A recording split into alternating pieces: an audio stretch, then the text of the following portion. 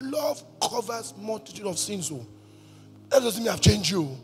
I'm just choosing not to see it. And I'm forgiving you. The same love that can cover. The day the love has grown cold,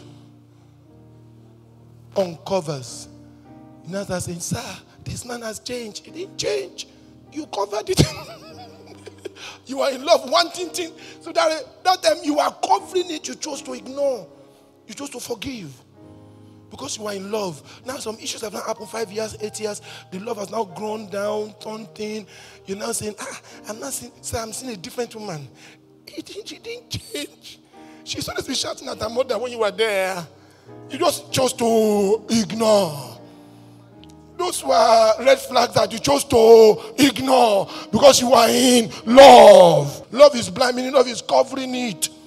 So when the love is no more there, you are seeing it. Ah, she has changed. She has not changed. I mean, do you get my point? Love covers, does not change. If a person will change, it's God that will change. God will change all men. But your love for Him, you love Him, you love as He is.